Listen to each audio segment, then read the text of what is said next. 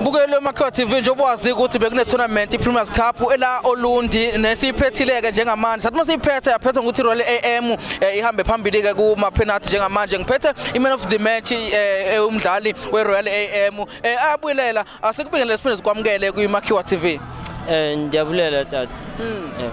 Eh. Ayabulela mfethu how it feels ukuthi ube iman of the match namhlanje ubade udlala kuyifinal kuyiPremiers Cup mfethu? Eh feeling emnandi kakhulu tata ngoba eh, sisebenze kanzima uze sifike kwesi stage esifike kuso.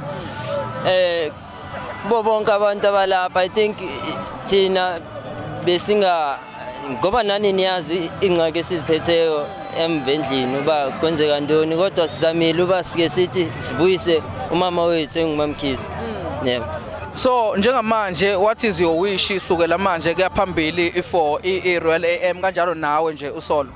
Um ushiyama ukuthi i-team yethu iqhubeke yenze kahle ngawo wonke ama- amaxesha njengoba nani nazi ukuthi la season asenzanga kahle ligeni. So ushiyama ukuthi siphethe nathi sesikunumber 1 sikhompyutha no-Sundowns.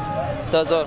Your last word mfowethu nje kuba bathandi beRoyal AM kanjalo nje nawe amazwi abantu ade bebukela iMakhiwa TV kanjalo nesambane news. Na kubathandi be-Royal AM ngithanda ukuthi eh, siyabonga ngokuthi bahlezi bekhona uzosupporta nama-teammate wami ukuthi nabo bahlezi nabo bekhona ukuthi bangiphushe umahlasela wonke ama-hotman akhona ethimini ukuthi bahlezi besiphusha sebafana abancane No siyamakhulu isikhathi sakho mfowethu siyakubongela nawe ukuthi ube iman of the match kanjalo nokuthi iqembu leRoyal AM eh, lithathe iPremiers Cup. Siyanibongela kakhulu. Ngiyabonga. Danke shaba.